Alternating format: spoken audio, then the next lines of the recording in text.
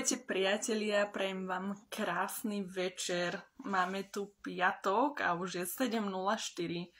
Trošku mi blbol signál, kým som sa pripojila, takže trošku meškám. A poviem vám pravdu, mala som v pláne pozvať uh, aj moju kamarátku Moniku, ale nejako som si to zle vyrátala.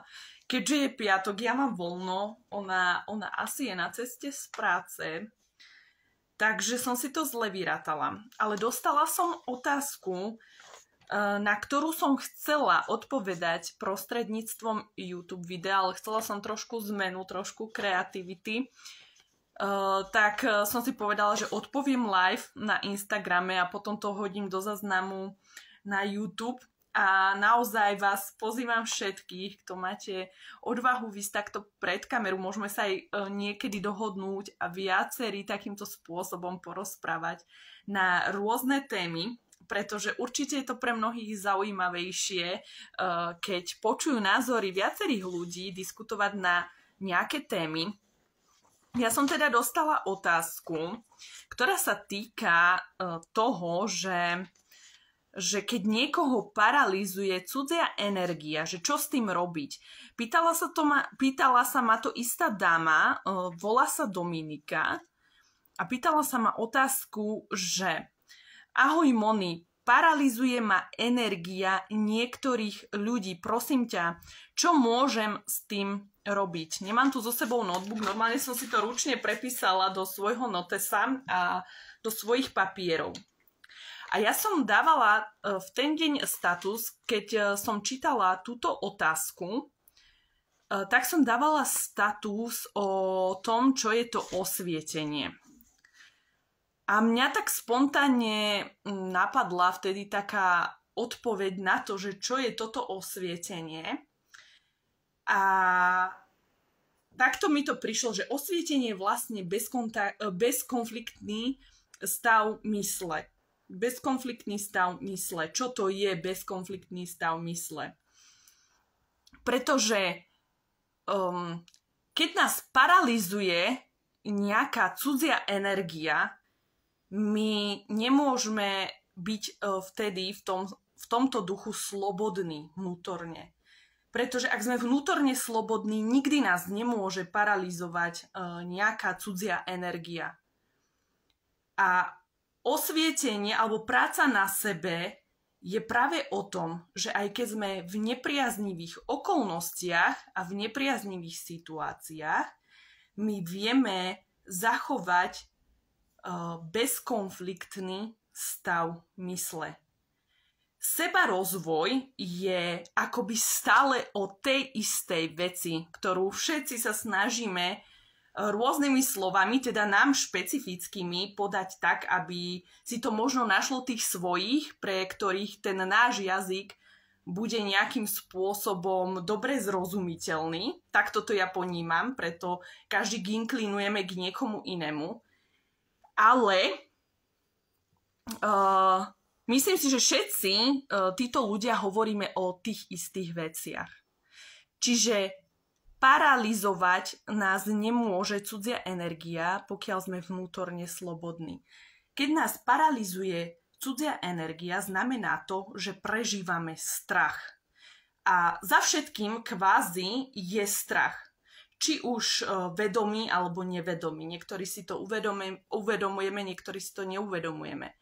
Strachy môžu byť strach z odmietnutia, e, strach zo straty milovanej osoby, strach z názorov ostatných ľudí. V hĺbke to môže byť dokonca strach zo smrti, áno. Uh, takže za všetkým je strach. Preto je dôležité uh, pokladať sám sebe otázky. Prečo prežívam danú emóciu? Napríklad niekto nám niečo komunikuje alebo komunikuje sa o nejakej téme a my pocítime strach otázka na nás nie prečo cítim ten strach, prečo ho mám, prečo tá daná osoba e, vo mne vyvoláva stav nejaký, nejakého nepokoja, nejakej úzkosti, prečo sa začínam nejakým spôsobom všimrať. Pretože e, je to nejaká téma, ktorej sa dotýka, ktorú ja v sebe ešte nemám spracovanú. Čiže opäť je to výzva na to, aby som ja sa zamyslel, zamyslela nad tým, čo vo mne tento človek vyvoláva a prečo. Prečo? Pretože skutočne taká tá hĺbková práca není, že odstránim všetko, všetko rušivé z môjho života, a ja budem happy, ale je do hĺbky a vnútra na samotných. Ono to znie trošku možno, že si tak protirečím, lebo viem, aj sama si to uvedomujem, že v niektorých uh, videách stále hovorím, že je dôležité sa obklopovať uh, pozitívnymi ľuďmi, ľuďmi na rovnakej úrovni, nejaké, alebo ktorí sú vyššie ako sme my, ktorí nás nejakým spôsobom ťahajú dopredu. A možno, možno to tak trošku protirečí, ale my nevždy máme na výber, hej, lebo my nikdy nevieme, koho stretneme. Či už na zastávke, v práci, každý sa hýbeme v tých iných kruhoch. Čiže nevždy si vyberieme, že kto nám položí akú otázku alebo čomu budeme čeliť. A taký ten vyšší level je práve v tom, e, to umenie E, tej našej práce si môžeme testovať najlepšie v krízových situáciách alebo v nepríjemných situáciách, kedy čelíme možno nielen tým úžasným, pozitívnym nejakým mm, komplimentom alebo e, slovám podpory. Čiže naša práca alebo to, ako sme na tom, e, častokrát zistíme práve v situáciách s ľuďmi, ktorí sú nám nemoc sympatickí, E, z ktorých e, cítime možno nejakú neprajnosť. Takže myslím si, že toto je skutočná práca na sebe. Nehovorím, že to máme vyhľadávať. Určite človek na e, nejaký ten seba rozvoj potrebuje práve ten typ ľudí, ktorý, od ktorého naozaj dostáva tú podporu a dobrú energiu. Ale zároveň si myslím, že ten najväčší test dostávame práve v takýchto náročnejších situáciách. Niekedy všetko ide ľahko a niekedy všetko si ja môžem zmeniť len tak, ako ja chcem. Uh, takže, uh, takže tak, mám tu nejakú otázku.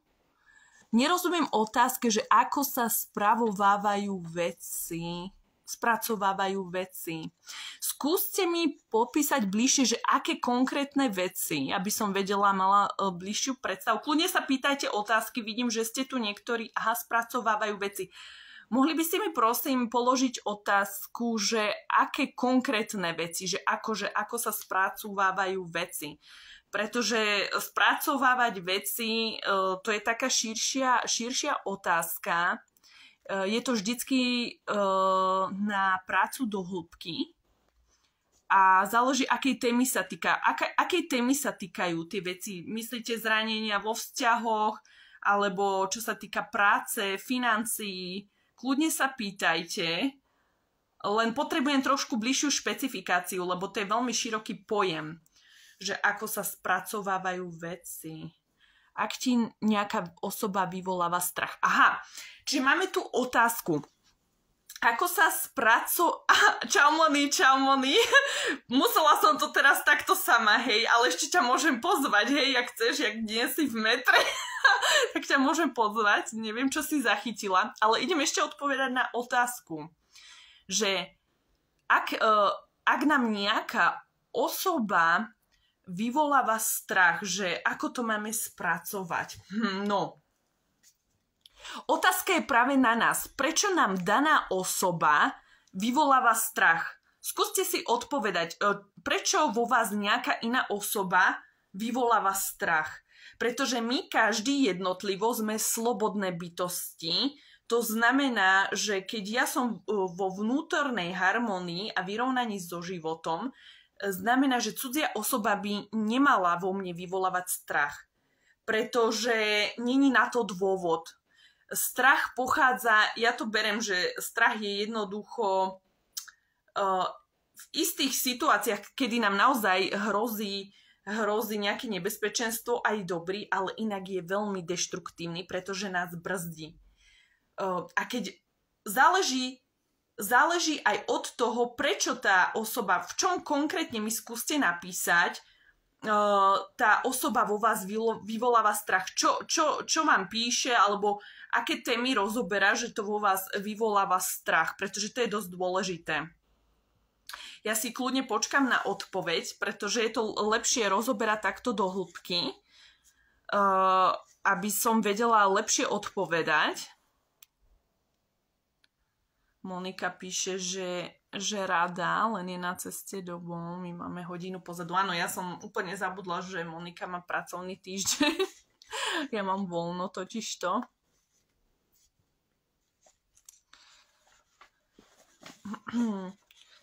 Skúste mi ešte prosím napísať, že uh, na, na tú otázku, čo ste sa pýtali, že ak e, mi iná osoba vyvoláva strach, že, že v čom konkrétne, že čo vám napríklad píše alebo hovorí, čo konkrétne vo vás vyvoláva strach, keď vám tá iná osoba hovorí. Skúste mi prosím vás napísať, že čo konkrétne, e, pretože mm, bezkonfliktný stav mysli znamená to presne, že my sa e, ako ľahko sa to vyslovuje, ťažko sa to niekedy dosahuje v rôznych situáciách. Niektoré situácie sú naozaj náročné a není to takto nejakou poučkou alebo nie, niečím, čo ma napadlo ľahko dať do praxe.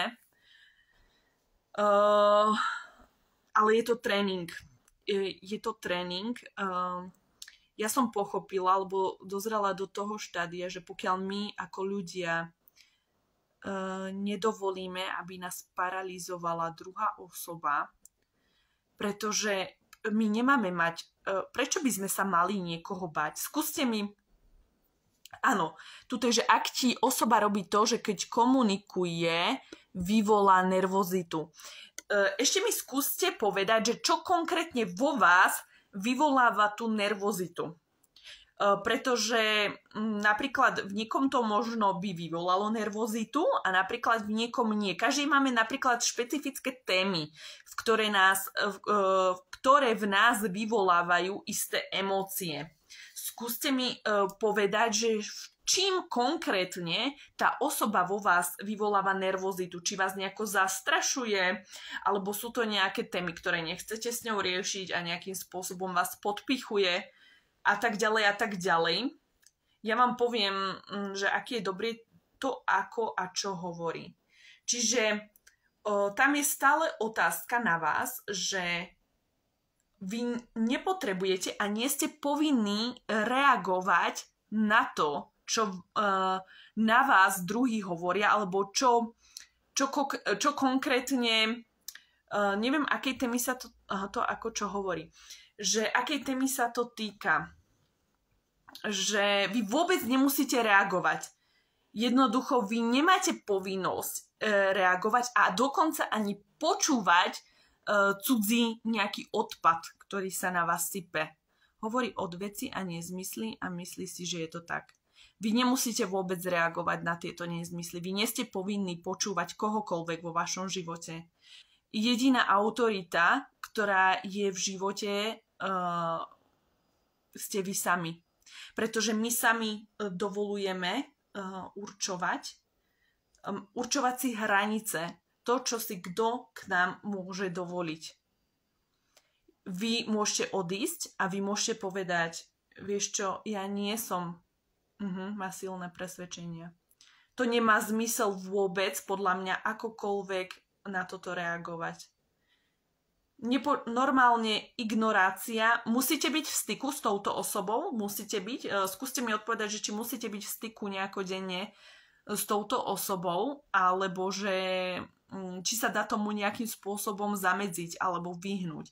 Pretože vy naozaj nie ste povinní počúvať, ja to volám nevyžiadané darčeky, pretože mm, ja som názoru toho, že každý človek mm, nás môže inšpirovať a my môžeme z každého človeka vyťažiť to dobre, alebo ak má dobré nápady na nejaké zlepšenia v našich životoch, ja sa rada nechám inšpirovať, ale my nemusíme prijavať, príjmať tú toxicitu, ktorú, ktorú nám dávajú ostatní ľudia.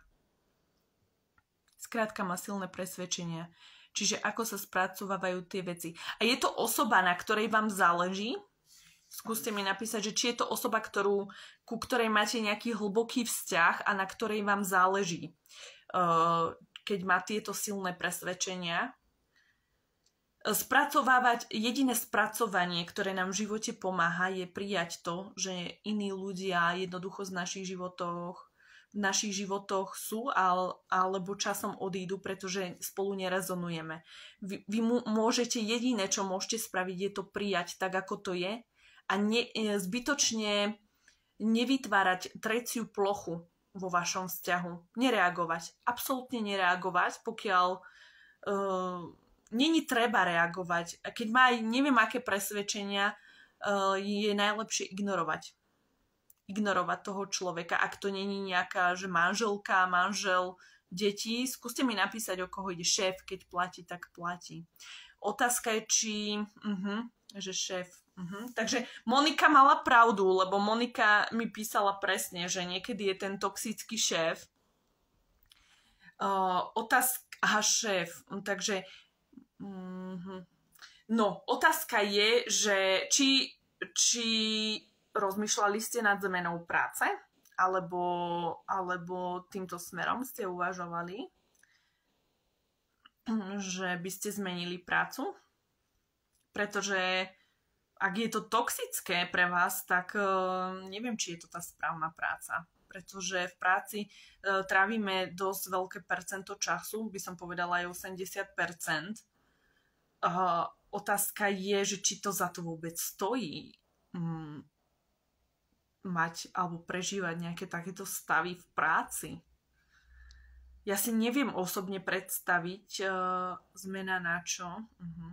No ja som ten typ uh, paradoxne, že keď by som sa cítila v práci zle, tak ja by som v nej nevydržala. Ja by som odišla. Pretože pre mňa je dôležité robiť prácu, ktorá ma baví a v ktorej som sama sebou a dokážem dávať dobrú energiu ostatným ľuďom že ja osobne si neviem predstaviť byť v práci, kde by ma zožieral nejaký šéf, ktorý má svoje predstavy a ktorý chce po mne niečo, čo ja nechcem. Ja by som to nedokázala, ja by som mm, odišla z takej práce, ale to som ja. No, rozhodnutie je tým pádom na vás. Jednoducho, či vám to stojí za to utrpenie, Môžeme odchádzať, môžeme odchádzať z práce, Moni, s týmto nesúhlasím. Ja si myslím, že každý môže odísť z práce, keď sa tak rozhodne. Otázka je vo viere, či verím na to, že si nájdem inú prácu, ktorá ma bude baviť. Otázka je vždycky v tomto istom bode, či si natoľko verím, že si nájdem prácu, ktorá ma bude baviť. Nemyslím si, že, že každý musí ostávať v práci, hmm, ktorá ho nebaví a kde má toxického šéfa. Nemyslím si to. Ja mám v tomto smere iný názor. Pretože myslím si, že ak ideme v súlade e, so svojou dušou, tak aj tie vyššie sily, ak veríte v Boha, v anielov, tak určite vám pomôžu nájsť si prácu, ktorá vás bude baviť a určite za iných podmienok. To je otázka viery potom.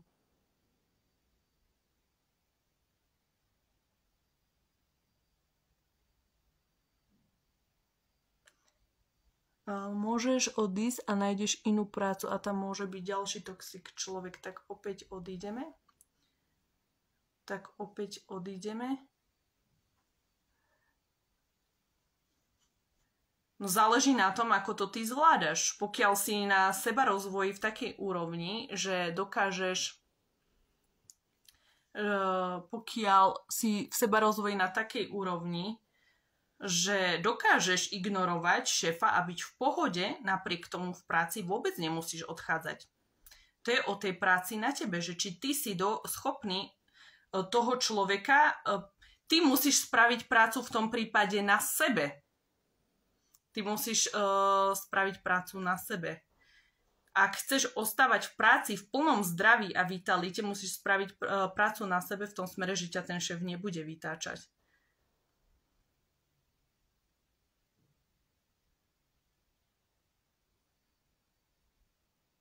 hej, stále sa odchádzať nedá, musíme sa naučiť. Tak záleží od toho, akú hranicu ti ten človek prekročí. Ja si myslím, že ak je to toxické prostredie natoľko toxické, tak treba odísť, pretože ak není schopná komunikácia s človekom na druhej strane, otázka je, že či sme sa pokúšali komunikovať so šéfom, to je otázka, že či sme sa vôbec pokúšali komunikovať uh, so šéfom. A ak si ide len to svoje, to je vždycky len na nás. Takže, mm, takže tak. Lebo vždy narazíme aj na toxik ľudí. No samozrejme, vždy môžeme... No však a to je to, čo, čo stále hovorím. V podstate sa nedozvedáme nič nové, pretože uh, ak sme na tej úrovni práci na sebe tak, že nás nedokáže vytočiť iná, iná toxická osoba, tak sme na tom veľmi dobre. Čiže by som odpovedala v tom prípade, ak pán alebo pani, neviem, kto sa ma to pýtal, či to bol pán alebo pani, uh, že nechce zmenu práce, tak zase je to len o tom, ako zapracovať na sebe a spýtať sa sám seba, prečo ma ten šéf vytača.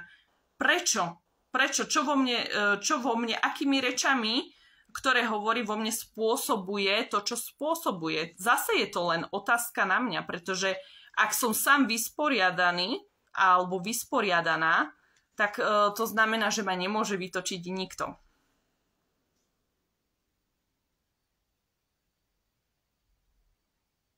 No to hej, Moni, s tým súhlasím, že ale ak je napríklad jeden človek taký a ostatné sa dá, tak je to len o našom postoji. No určite, vždycky je to o našom postoji. Stále je to o tom istom. Možno by som sa opýtala tej pani alebo pána, ktorý sa ma to pýtal, že, že, že, že akým spôsobom to vlastne myslel, pretože je to len na ňom. Pokiaľ, pokiaľ mu to stojí uh, za, tú, uh, za tú mzdu, ktorú dostáva, tak môže sa naučiť len spôsoby, alebo nejakým spôsobom dostať do modu, kedy sa ho nebudú tie reči dotýkať.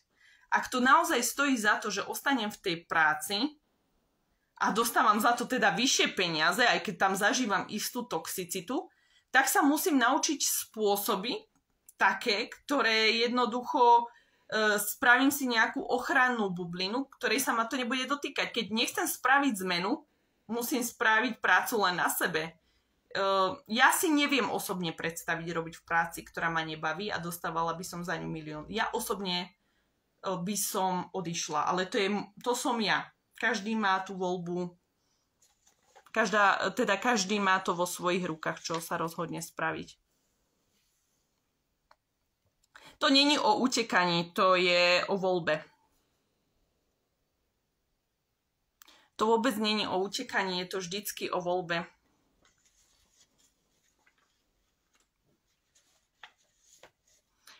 No, čítam ďalej.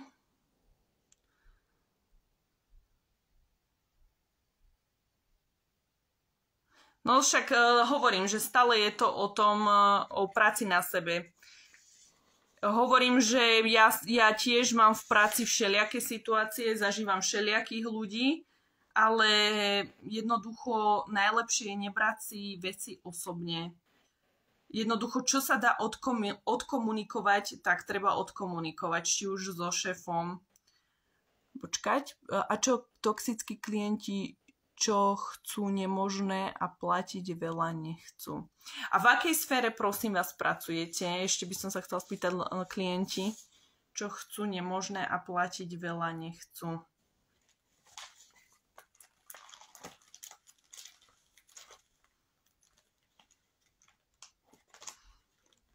Otázka je stále na vás, že čo vy s tým urobíte. Otázka je stále na vás, že iba vy to môžete zmeniť. Jednoducho nebrať si osobne tieto veci, alebo jednoducho zmeniť. Aha, stavebníctvo, aha, stavebníctvo. Ináč to, to je, to je aj remeslo. To je super podľa mňa. A čo toxickí klienti? Čakám, lebo tie otázky mi nabiehajú tak, uh, tak všeliak. Pozerám, že čo píšete.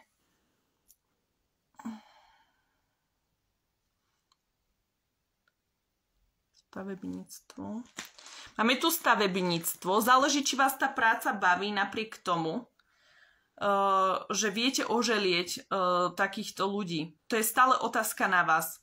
Stojí vám to stále napriek tomu za to, robiť túto prácu, napriek tomu, že sú tam teda tí toxickí klienti alebo aj toxický šéf, stále prevažuje to, že tá práca vás baví, aj keď tam zažívate toto, stále je to otázka na toto, pretože pokiaľ nechcem niečo zmeniť vo svojom živote, tak stále je to otázka potom na mňa, hej. To ako keby som ja ostávala v práci, kde viem, že isté veci sa nezmenia, ja ten fakt viem, ale neurobím tú zmenu, tak potom sa ani ja osobne nemôžem stiažovať.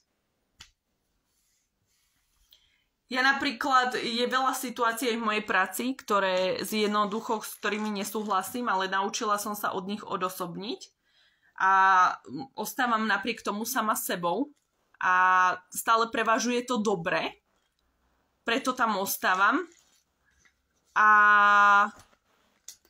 o tom toto je. Je to naša voľba. Iba my to môžeme zmeniť, keď sa nám niečo nepáči. Jednoducho, či stále mi tá práca stojí za to, či už za tie peniaze alebo za tú našu energiu, že sa tam oplatí ostať. To sú, to sú odpovede vždycky na nás.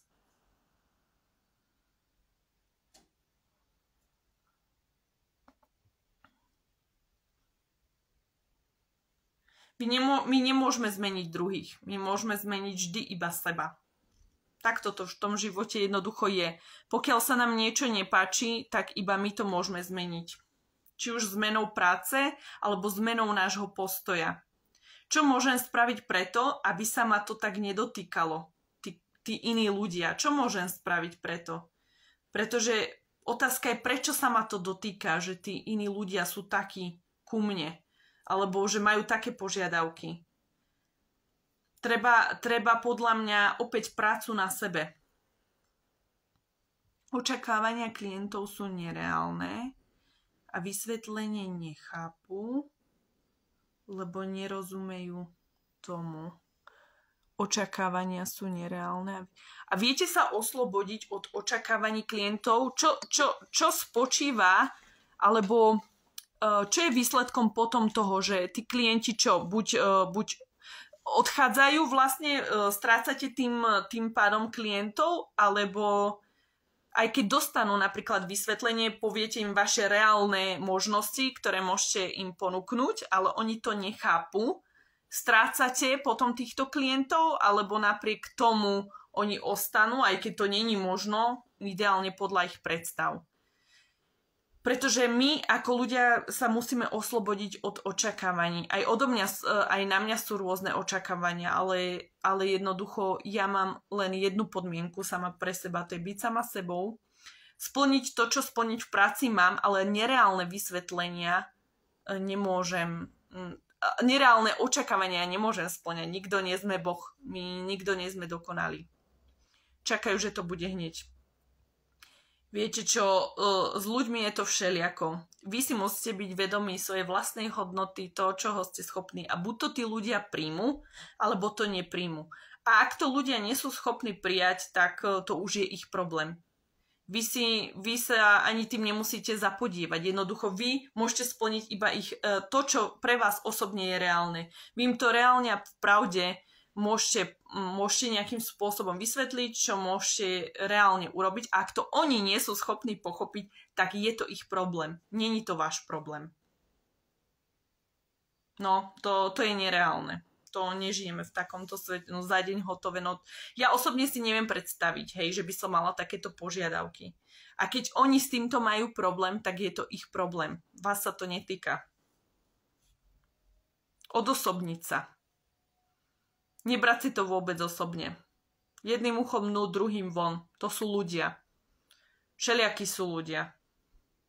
Ja by som si to vôbec nebrala osobne. Neviem, či ste čítali knihu 4 dohody, alebo či poznáte Jarda Dušeka, eh, ktorý má mm, aj predstavenie štyroch dohôd. No, tak jednoducho ideálny svet, uh, hej, čakajú na, hej. Pre mňa bolo najväčšie uvedomenie, keď som pochopila, že, že um, ja osobne už nemám čakať na koho, ani na nejakého spasiteľa jednoducho, len ja si tvorím ten život a tú svoju realitu. Tak im musíte začať hovoriť veci úplne otvorene, ako ich cítite. Viete, ako som sa ja oslobodila tým, že som začala ľuďom hovoriť veci tak, ako ich cítim? Veľmi byť pravdivý k ním. Jednoducho, buď to pochopia, alebo to nepochopia. Nie sú pre vás. Vždycky, vždycky, vždycky ľudia, ktorí uh, nechápu nás, alebo čo to, to, to je v poriadku, vždycky je milión ľudí, ktorí budú, bude milión ľudí. Jedni nás budú chápať, druhí nás nebudú chápať. Vždycky je to len o tom, že, že tí správni pre nás nájdú to pochopenie. Monika píše, že úplne celá liveka vypadla, nevadí, však určite to bude v zázname. Zubnú pastu signál nemáš. No, už sa uberáme iným smerom. Nie, ja používam zubnú pastu Crest.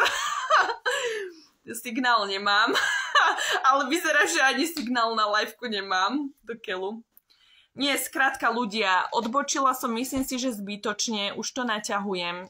Uh, myslím si, že ak uh, v práci napríklad prevažuje stále to dobré, a tá práca nás nejakým spôsobom baví. Vždycky budeme čeliť aj nepríjemným situáciám, aj iným e, nejakým toxickým ľuďom. Ale ak nás tá práca srdcom baví, tak je dobré nájsť si nejakú ochranu a nebrať si osobne tie veci. Odporúčam každému 4 dohody. Pozrieť si na YouTube od Jarda Dušeka 4 dohody. Je to divadelné predstavenie vtipnou formou. Je to úplne perfektné a funguje to. A keď sa toto naučíme, ja, som, ja, sa, ja sa snažím pracovať na sebe tak, že sa snažím naozaj si nebrať veci osobne, nehrešiť slovom. Jednoducho uh, som si vedoma toho, že nie všetci ma pochopia. Snažím sa byť pravdivá a úprimná. Čo sa dá odkomunikovať, uh, odkomunikovávam a čo jednoducho nie, tak uh, jednoducho nie a buď to ja zase, je to vždycky je to na nás ľudia. My sme sa naučili um, pre, dávať tú zodpovednosť na iných ľudí. My ten život máme vo veľkej miere vo svojich rukách. My sa môžeme kedykoľvek rozhodnúť niečo zmeniť ja vôbec neverím tomu, že niekde musíme zostávať, keď e, nás to dere z kože. Ja tomu to neverím. Ja verím v to, že ak si veríme natoľko, že, že Boh, vesmír, život má pre nás e, nachystané to najlepšie, tak jednoducho odídeme z takého prostredia, kde sa už ne, neposúvame, alebo je to len toxické. Vždy je to na nás. Uh, toto je môj odkaz. Bezkonfliktný stav mysle znamená, že som v harmonii so životom, s ľuďmi, že si neberiem tieto veci osobne, že e, jednoducho som v, takej, v takom stave, že sa ma osobne nedotýkajú e, tie veci, ktoré nám iní hovoria. Ak sa ma to dotýka, zase je to len otázka na mňa. Prečo sa ma to dotýka? Prečo tá téma sa ma konkrétne dotýka? Prečo ten a ten človek vo mne vyvoláva tie a tie pocity? Zase je to len otázka na mňa. Nikdy za to nemôže nikto zvonka. Vždycky je to len otázka na mňa. Otázka je, či som schopná to ustať alebo či som schopná spraviť niečo pre tú zmenu, napríklad odísť z nejakého toxického vzťahu, odísť z toxickej práce. Otázka je vždy o voľbe priorít. Čo je pre mňa priorita? Sú pre mňa prioritné peniaze alebo prioritná práca, ktorá ma baví? Alebo môže mať aj prácu, ktorá ma baví a môže mať aj peniaze. Potom je to otázka na vieru. Verím v to, že môže mať prácu, ktorá ma baví a z ktorej aj mám dostatok financií, Otázka je potom zase na mňa. Ja určite nepodporujem rolu obete v nejakej oblasti. Nejakej oblasti. A myslím si, že, že je to vždycky o, o tomto. O našej voľbe, čo si my vyberieme. Ak sa rozhodneme ostávať niekde zaseknutý 20, 25 rokov, je to len naša voľba potom nám nepomôže ukazovať prstom na vládu, na prezidenta a na ťažké životné okolnosti. Je milión ľudí, ktorí dokázali z úplného dna sa vyhrábať úplne hore a z úplne strašidelných podmienok sa dostať do úplne iných podmienok. Takže ľudia, budem pomaličky končiť uh, túto liveku pozerám ešte, že či niekto niečo píše.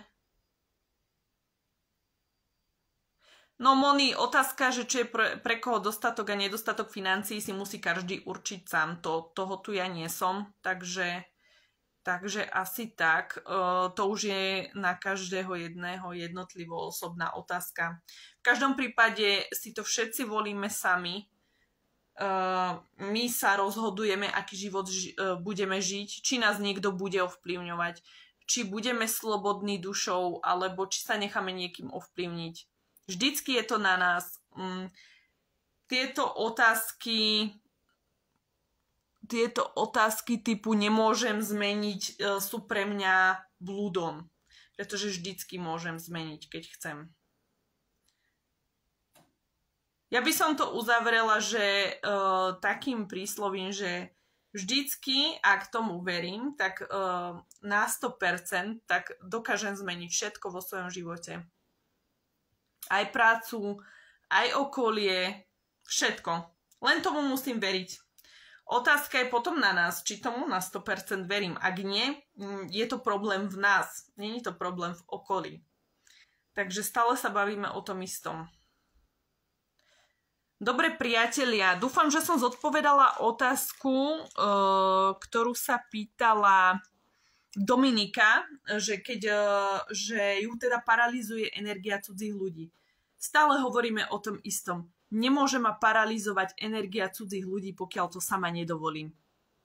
Stále je to o tom.